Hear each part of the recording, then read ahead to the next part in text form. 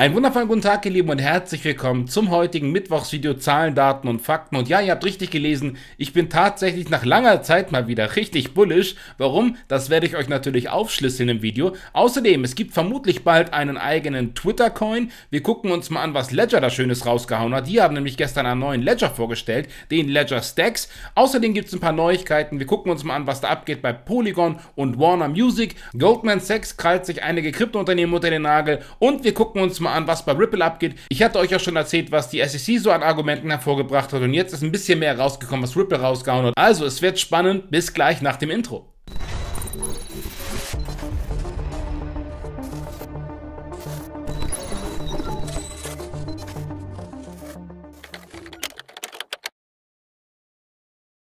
Ja, wir machen es mal kurz. So, kurstechnisch hat sich jetzt nicht die Welt getan bei den Projekten, die ihr hier seht, aber es gibt einige Gewinner in den letzten Tagen und das sind vor allem mal wieder die Altcoins Actually Infinity und Trust Wallet Token. Trust Wallet Token jetzt, glaube ich, schon die dritte Woche in Folge ganz oben mit dabei. Ich glaube, langsam macht es doch mal Sinn, sich das Projekt etwas genauer anzuschauen.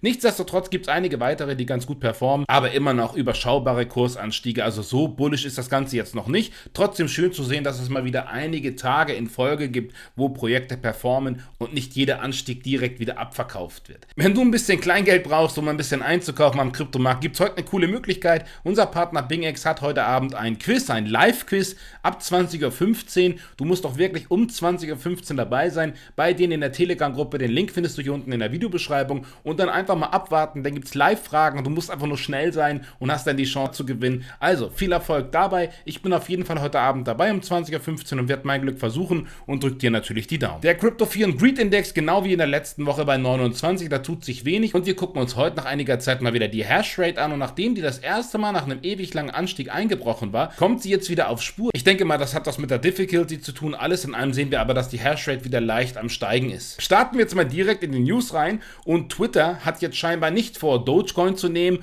oder irgendeinen anderen Social Coin, sondern es scheint fast so, als würden sie ihre ganz eigene Währung raushauen wollen und zwar den bisher sogenannten Twitter Coin.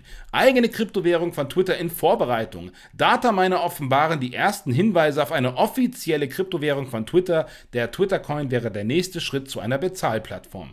Twitter könnte in absehbarer Zeit eine eigene Kryptowährung einführen. Im Hintergrund hat offenbar schon die Umsetzung begonnen, wie Screenshots aus einer internen Version und Informationen aus dem Quellcode zeigen. Als inoffizieller Name hat sich bereits Twitter Coin durchgesetzt. Auf der Kurznachrichtenplattform trendet der Hashtag. Den Stein haben Wong und OG mit den Screenshots ins Rollen gebracht. Kurios ist, dass Wongs Twitter-Account inzwischen gelöscht ist. Alle weiteren Social Media Accounts sind entweder ebenfalls gelöscht oder neuerdings auf privat gestellt. Also scheint da was Wahres dran zu sein. Ich weiß ja nicht, inwieweit ihr im Thema Thema seid, ob ihr dazu mehr wisst. Wenn ja, schreibt es mal gerne in die Kommentare. Ich kann mir aber gut vorstellen, dass Twitter sein eigenes Ding raushaut, weil sie dann einfach auch viel mehr Möglichkeit haben, das Ganze in irgendeiner Form zu kontrollieren und kann mir daher sehr gut vorstellen, dass es einen Twitter-Coin gibt, der vielleicht gar nichts mit den bisherigen Vermutungen zu tun hat. Ja, es gibt einen neuen Ledger, den kann man zwar nur vorbestellen, der wird dann, glaube ich, Ende März ausgeliefert, aber der hat mich doch gestern schon sehr überrascht. Das Ganze erinnerte mich doch sehr stark an die Apple Keynote, gab einen richtig schönen Vortrag, richtig geile Aufmachung. Ich meine dort verstanden zu haben, dass sie jetzt auch einzelne Stores eröffnen wollen. Ich glaube, sie beginnen in Europa, werden eigene Stores eröffnen. Also sie haben sich Apple tatsächlich so als Vorbild genommen und ich muss zugeben, das Ding ist schon ziemlich, ziemlich geil. Also erstens hat es eine ganz andere Form. Zweitens kann man das Ding komplett customizen, also personalisieren und es ist einfach dafür gedacht, dass man es wirklich im Alltag benutzen kann. Ja, wie so eine richtige Wallet halt. Ja, den Stick rauszuholen, irgendwo anzuschließen und so weiter ist natürlich immer ein bisschen komplex. Andererseits ist das Ding jetzt aber auch wahrscheinlich nicht viel sicherer als euer bisheriger Ledger. Dennoch für diejenigen, die vielleicht noch keinen haben oder diejenigen, die wirklich im Alltag mit den Kryptowährungen arbeiten, einen großen Speicher brauchen und das Ganze einfach schöner visualisiert haben wollen. Ich glaube, da ist der Ledger Stacks ganz cool. Ich denke mal, ich werde mal einen vorbestellen. Falls du Bock darauf hast, findest du den Link zur Vorbestellung hier unten in der Videobeschreibung. Bin wirklich mal gespannt, wie die Dinge dann real life aussehen, aber das Video verspricht schon mal einiges. Er hat so ein Curved Display. Also ich glaube, da hat das Entwicklerteam wirklich was Geiles gezaubert. Muss man mal in der Praxis ausprobieren. Ihr wisst jetzt auf jeden Fall Bescheid. Polygon und Warner Music starten virtuelle Musikplattformen. Polygon hat eine weitere große Kollaboration bekannt gegeben, zusammen mit der Warner Music Group, heftig, und dem E-Commerce-Unternehmen Legends soll eine neue Web3 Musikplattform entstehen. Die Plattform soll unter dem Namen Legend oder LGND Music im Januar starten. Mit Legend Music sollen digitale Musiksammlerstücke gehandelt gehandelt und abgespielt werden können. Geplant ist, dass neben Polygon noch andere Blockchains unterstützt werden. Die NFT-Songs sollen sich dadurch von allen großen Plattformen zu Hause und unterwegs abspielen lassen können. Ich habe direkt mal geschaut, die News hat jetzt nicht so krass gefruchtet. Kurstechnisch hat sich bei Polygon das nicht ganz so viel getan. Aber glaubt mir, Freunde, ganz generell muss ich sagen, dieses ganze NFT-Thema ist meiner Meinung nach komplett falsch gestartet. Alle haben irgendwie im Kopf, dass es nur um verpixelte Affen geht und irgendwelche kuriosen Sammlerstücke, die am Ende doch nichts wert sind. In Wahrheit hat NFT einen so viel größeren Horizont, ja. Wir können das Ganze benutzen, um Vertrauen zu ersetzen. Man kann damit Echtheitszertifikate ausstellen. Theoretisch könnte man damit einen Notar ersetzen. Man kann damit die Lizenzrechte an Musik und so weiter ganz klar definieren und vieles, vieles mehr. Also ich glaube, NFTs werden nochmal richtig krass wiederkommen und dann auch mit deutlich mehr Use Cases. Also ihr dürft auf jeden Fall gespannt sein. Ja, alle reden davon, dass der Kryptomarkt so ziemlich am Ende ist und das ist jetzt übrigens der Grund, warum ich so bullish bin. Erstens, Goldman Sachs will angeschlagene Kryptounternehmen aufkaufen. Matthew McDermott von Goldman Sachs bestätigt, dass die Investmentbank ein Auge auf die bankende Kryptobranche geworfen hat. In diesem Kontext führt er aus, dass seine Investmentbank aufgrund der aktuellen Situation deutlich realistischere Preise für Kryptounternehmen sieht, weshalb Goldman bereits die Übernahmen einiger Firmen prüft. Hm, wenn doch alles so brüchig ist und so schlecht und so scammy und fishy, warum nimmt sich Goldman Sachs die Zeit und will jetzt in den Kryptomarkt investieren? Außerdem, unser Wolf of Wall Street warnt vor Krypto. Nach dem FTX-Skandal äußert sich Jordan Belfort seine Bedenken gegenüber Kryptowährungen. Nur Bitcoin und Ethereum seien akzeptabel. Das sagt der gleiche Mann, der hier in diesem Video The Wolf of Wall Street says Bitcoin is a scam and he should know. Also wenn einer weiß, dass es ein Scam ist, dann er, der größte Scammer überhaupt. Und er sagt hier in diesem Video nochmal, ja, Bitcoin ist auf jeden Fall schlecht und die Leute, die müssen es einfach begreifen. Ich weiß natürlich, dass Bitcoin ein Scam ist und der gleiche Typ erzählt euch jetzt hier, dass Bitcoin ein sicherer Hafen ist. Da gehen bei mir direkt die bullischen Glocken an, genauso wie bei Jim Cramer.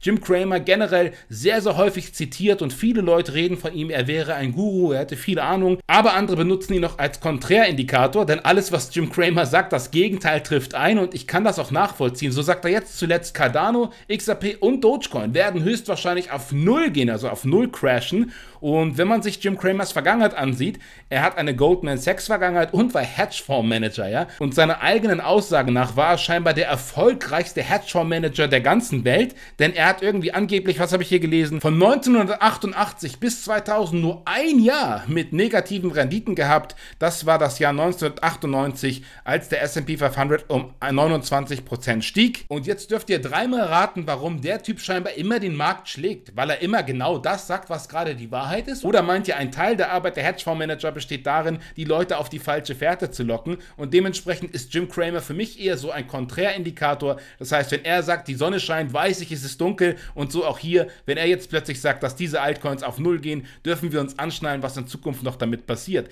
Gleiches auch mit meinem Liebling Michael Saylor. Der liebe Michael, der ja vor einiger Zeit zurückgetreten ist als CEO bei MicroStrategy, hat natürlich unglaubliches Interesse daran, dass Bitcoin wieder Fahrt aufnimmt. Hier seht ihr es nochmal. Er hat irgendwie dafür 205 Millionen Dollar nochmal nachgeschossen und ganz generell hat er hier nochmal über 100 oder er hat insgesamt 130.000 Bitcoins und hat pro Coin 30.000 Dollar bezahlt. Und zieht euch das mal rein. Dieser Michael Saylor, der ja scheinbar genau weiß, was Recht und Unrecht ist und was die richtigen Entscheidungen im Leben sind, hat den Leuten damals gesagt, verkauft Haus und Hof. Er forderte alle auf, bei 51.000 Dollar Bitcoin zu kaufen. Und dieser gleiche Mensch erzählt uns jetzt, dass das alles Betrügereien seien und im Prinzip Bitcoin die einzig wahrhaftige Lösung für alles ist. Also auch da gehen wieder für mich die bullischen Glocken an. Wenn die Altcoins so gehatet werden von großen Persönlichkeiten, bereite ich mich darauf vor, dass der Shift bald losgeht und wir hoffentlich vielleicht in der 17.000 Dollar Region den Boden gesehen haben. Was dazu noch ganz gut passt, das sollte man jetzt vielleicht nicht zu ernst nehmen, aber fand ich durchaus interessant und wir behalten das mit am Auge, Freunde. Hier von 22 Savage 22, The Packers, also es gab ein Sportevent, bei dem die Packers gegen die Bears gewonnen haben und die Packers stehen jetzt hier für Pack Your Bags, denn direkt nach dem Sieg der Packers gab es noch eine kleine Akkumulationsphase und seitdem hat Bitcoin diesen Wert nicht mehr unterschritten. Also haben die Packers vielleicht wirklich wirklich den Bären besiegt und jetzt zieht Bitcoin wieder Stück für Stück an. Wir werden mal schauen. Er dürfte dann auf jeden Fall nicht mehr unter die 16.900er Marke so um den Dreh gehen. Wäre auf jeden Fall eine sehr witzige Geschichte und ich behalte das mal für euch im Auge. Ja, kommen wir zu guter Letzt nochmal zum Ripple-Update und wir gehen jetzt mal auf die Punkte ein, die Ripple rausgehauen hat, denn der Hauptpunkt, den Ripple raushaut, ist folgender. Ripple Labs ist der Überzeugung, dass die US-Börsenaufsicht nicht in der Lage ist zu beweisen, dass es sich bei XRP Token Sale des Unternehmens vor neun Jahren um einen Investitionsvertrag im Sinne des rund 100 Jahre alten Howey-Tests handelt. Deshalb haben die Anwälte von Ripple das Gericht gebeten, einem Urteil auf Eilverfahren stattzugeben. Beide Parteien reichten, wie wir schon besprochen hatten, letzte Woche ja diese letzten Dokumente ein und jetzt besteht theoretisch die Möglichkeit, dass die Richterin einer der Parteien jetzt das Recht einräumt und quasi den Gerichtsprozess beendet.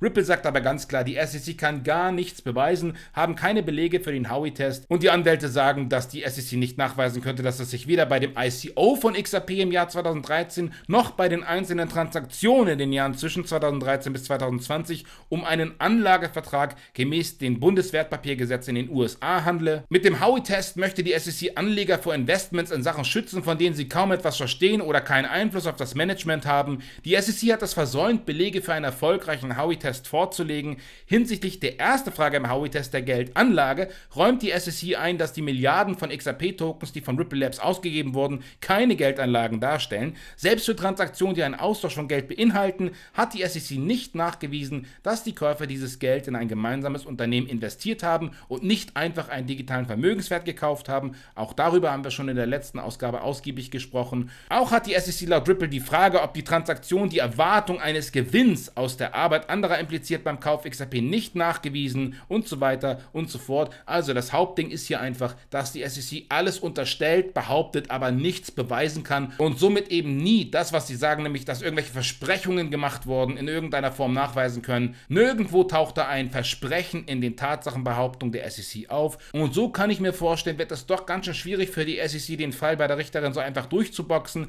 Außerdem gibt es ja auch noch einige weitere Dinge, auf die wir warten. Ripple argumentiert in seinem Antrag, dass sie nichts beweisen kann. Das hatten wir schon gerade. Und es gibt insgesamt jetzt drei Dinge, die laut James Fillin, einem der Twitter-Anwälte, die sich komplett um das Thema Ripple gegen die SEC kümmern, dazu gehören auch die Anträge auf ein Urteil im Schnellverfahren, die Anfechtung von Sachverständigen und die Klärung der Fragen um die Sachverständigenberichte, der Hinman-Dokumente und anderen Materialien, auf die sich die SEC und Ripple in ihren Anträgen berufen. Die Hinman-Dokumente sind ein Transkript der Rede von William Hinman auf der Yahoo Finance All Market Summit 2018, in dem er meinte, Ethereum oder Ether wäre kein Wertpapier. Philin glaubt, Richterin Torres werde die drei großen Fragen nicht separat behandeln, sondern über alles zusammen entscheiden, nachdem sie über die Anträge auf ein Urteil im Schnellverfahren entschieden hat. Also, wir dürfen davon ausgehen, wenn die Richterin jetzt keiner der beiden Parteien irgendwie Recht zuspricht und damit eben dieses summarische Urteil für stattfindet, dann müssen wir uns leider noch ein bisschen zurücklehnen. Die anderen Punkte, die da noch in den Raum geworfen werden, unter anderem auch die Hinman-Rede, würde dann eben dazu führen, dass sie sich noch ein bisschen Zeit nehmen muss, um das alles zu prüfen, alles gemeinsam, was sie hat und dann eben ein Urteil zu fällen. Das kann aber spätestens bis 31. März auf sich warten lassen. Viele Leute sind da draußen aktuell sehr skeptisch, sehr bearish und sagen, XRP geht auf Null, haben wir ja zum Beispiel auch bei Jim Cramer gesehen und ich finde es immer wieder überraschend, wie plötzlich nicht nur Jim Cramer, der ja zumindest ein bisschen juristischen Background hat, er ist nämlich selbst ausgebildeter Anwalt, aber auch viele Influencer oder Leute im Netz einfach der Meinung sind, zu wissen, wie eine Richterin zu entscheiden hat, finde ich immer sehr, sehr spannend. Ich maß mir auf jeden Fall nicht an, heute schon zu wissen, was passiert. Ich kann euch nur sagen, ich wünsche mir von Herzen, dass es so kommt, wie wir es uns alle wünschen und ich bin ziemlich zuversichtlich. Ich bin der Meinung, dass wir entweder noch ein Settlement erleben, dann aber in diesem Jahr noch oder es geht wirklich bis ins große Finale und da sehe ich die Chancen so ganz persönlich, ja, emotional gesagt, so etwa bei 70 zu 30, wo ich mich für Ripple aussprechen würde, weil ich der Meinung bin, dass es doch schon sehr, sehr viele Punkte gibt, die die 100 Millionen Dollar Anwälte von Ripple rausgehauen haben. Und wie gesagt, die SEC erzählt viel, hat aber sehr wenig Beweise, was es für mich als Außenstehenden doch einigermaßen positiv gestaltet für Ripple. Ihr könnt mir ja gerne mal eure Kommentare reinschreiben, wie ihr das Ganze seht. Glaubt ihr, dass diese ellenlange Geschichte dieses Jahr noch ein Ende findet oder erst im nächsten Jahr? Außerdem können wir gerne morgen darüber philosophieren, denn morgen haben wir mal wieder ein Full Moon Hangout. Ich lade euch alle herzlich ein, pünktlich zum Vollmond, zum Livestream. Dort werden wir uns einige Themen anschauen, vielleicht ein paar News, aber vor allem eben eure Fragen, die ich beantworten werde, eure Themen, die ich mir anschauen werde. Wir können auf Videos reagieren, wir können irgendwelche Sachen mal durchlesen, wo ihr Bock drauf habt oder eure Projekte unter die Lupe nehmen. Ich freue mich auf jeden Fall auf euch. Also morgen ab 19 Uhr geht's los und für alle, die heute Abend um 20.15 Uhr Zeit finden, kommt doch sehr gerne in die BingX Telegram Gruppe und sichert euch ein paar Dollar. Würde mich auf jeden Fall für euch freuen. Ich bin raus für heute, wünsche euch einen wundervollen Tag, ihr Lieben. Wir sehen uns morgen. Bis bald. time.